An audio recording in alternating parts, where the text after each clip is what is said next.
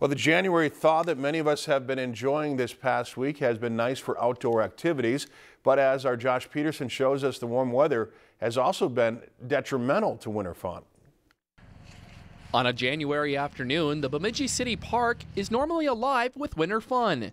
But due to the stretch of mild weather we're experiencing, the park sits quiet and the outdoor rinks and facilities have had to close outdoor rinks have been super busy up until this point, and then um, sometime last week, of course, we lost most of our ice. So um, they've been closed for about a week now, and we're working hard to reflood and get things reopened as soon as the weather kind of cools off a bit. What normally this time of year is covered with a blanket of white snow is showing large signs of brown and green, a scene more commonly seen in March or April.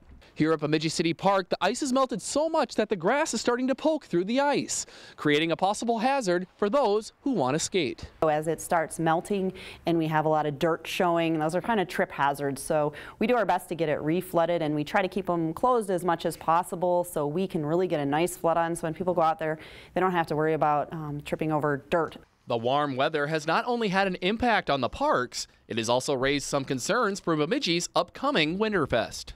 We're definitely behind schedule, but the weather forecast looks favorable, and assuming we don't get a lot of snow and a lot of wind, we'll be fine.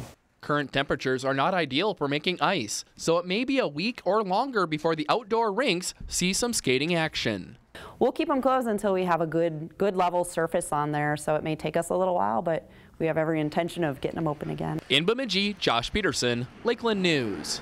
To find out information on the parks and their current conditions, we've posted a link on our website at lptv.org slash news. If you've enjoyed this segment of Lakeland News, please consider making a tax-deductible contribution to Lakeland Public Television.